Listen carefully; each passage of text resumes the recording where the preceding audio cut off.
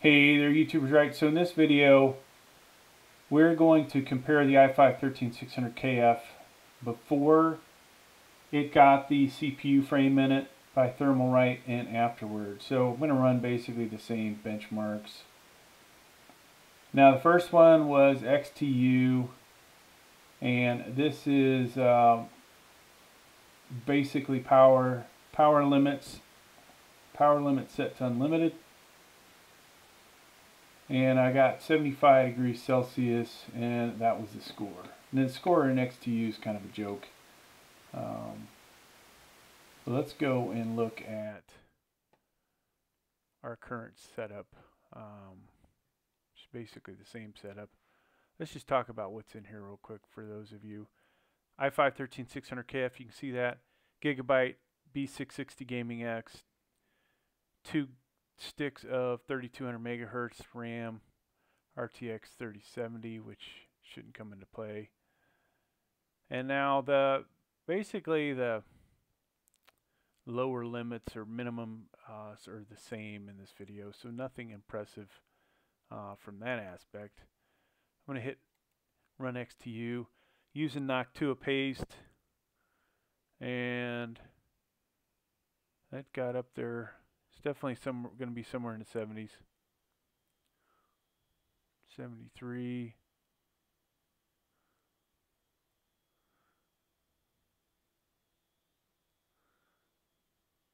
Seventy-four. Could have sworn I saw for a moment a seventy-five, but um, one degree cooler.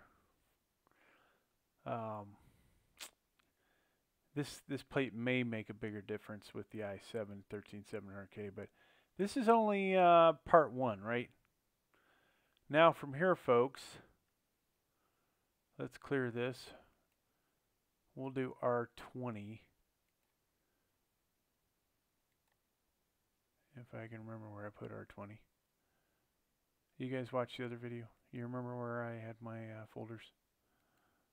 Probably right there. Okay. So we'll get this up.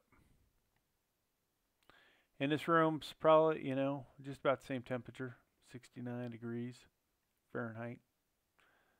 There's one of my previous scores, all right? Now, I'm going to pause the video and cue up the other video. All right, so this video, now I didn't consistently use XTU. Um, this is going to run Cinebench R20 and then pull up Hardware Info 64.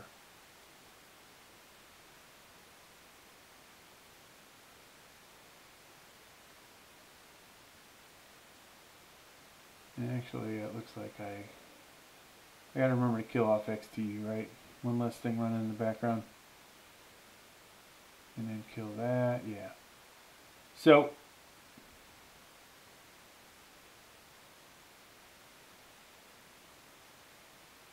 and watch this for a couple minutes. Now on here you can see 75, 76.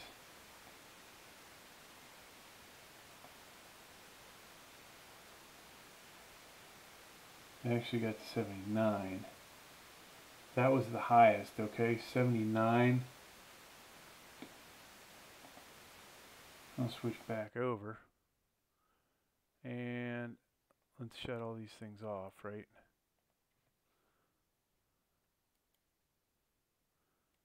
Don't want that on. Close that.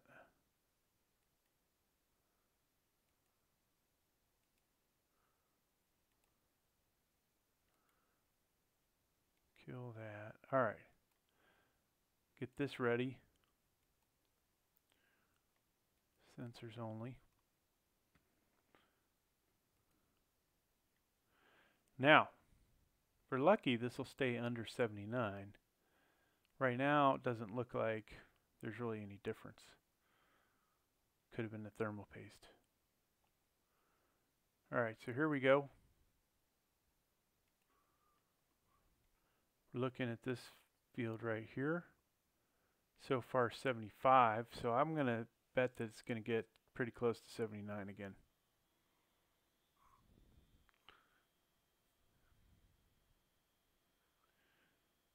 A real question would be is if it trims 1 to 2 degrees Celsius, folks, is that worth it? Oh, wow. So exact same, exact same temperature, 79, 80, even hotter. We did, um, we did beat our score though from the last time we used this, but that score was from um, cutting off uh, turbo boost. So it ran hotter,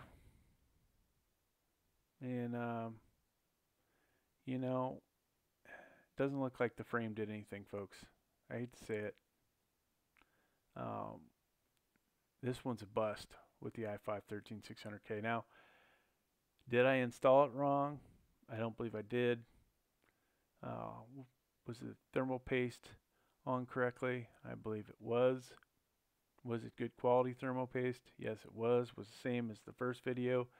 Yes, it was. Um, so in the case of this i5 13600KF, it made absolutely no difference. It actually, um, you know, one test was better, one test worst. Now we could do this again, right? Which is probably the smart thing to do. Run this again. I'll reset it.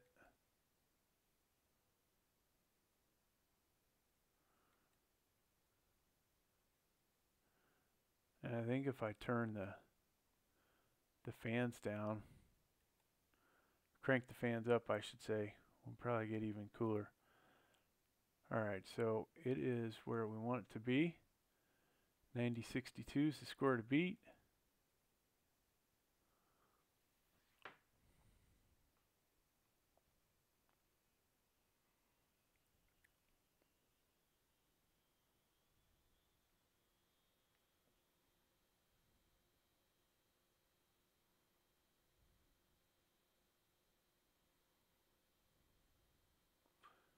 Hasn't hit 80 yet. Yep. It hit 80. So in the other test, I didn't run it more than once. But uh, Pierce, the other setup, was better. Yeah.